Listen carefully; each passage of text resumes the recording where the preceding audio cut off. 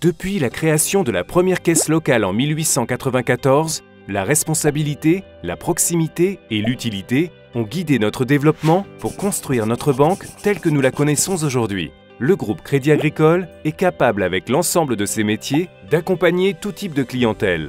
Il a également pour mission d'apporter une cohérence aux initiatives des 39 caisses régionales fonctionnant en autonomie, elles-mêmes portées par le maillage de leurs caisses locales. Toutes les caisses régionales, comme celle de Sud-Rhône-Alpes, sont très attachées à leur territoire. Pourquoi? Eh bien tout d'abord parce que tous nos clients et sociétaires vivent sur ce territoire. Et c'est leur épargne qui finance les crédits qui sont accordés localement.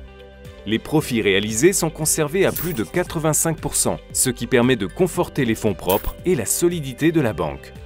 Alors, comment dans ce contexte s'assurer que l'homme reste toujours au centre des préoccupations? Eh bien, la banque fonctionne de manière coopérative, c'est-à-dire qu'elle appartient à ses clients qui ont acheté des parts sociales. Ils deviennent alors sociétaires et peuvent ainsi participer à la prise de décision. De plus, le poids dans les décisions prises en Assemblée générale n'est pas proportionnel au nombre de parts détenues.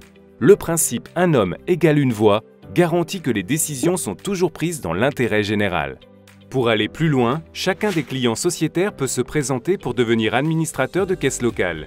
Il est alors élu par les autres clients sociétaires pour représenter leurs intérêts.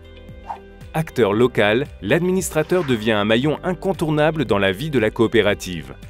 Sans prendre part à l'activité bancaire, il apporte aux conseillers de l'agence sa connaissance terrain, permettant ainsi une meilleure approche des projets.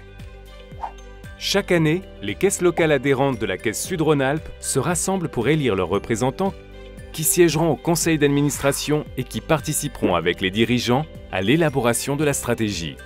Cette expérience mise en commun au service de l'homme et du territoire, on appelle ça le mutualisme.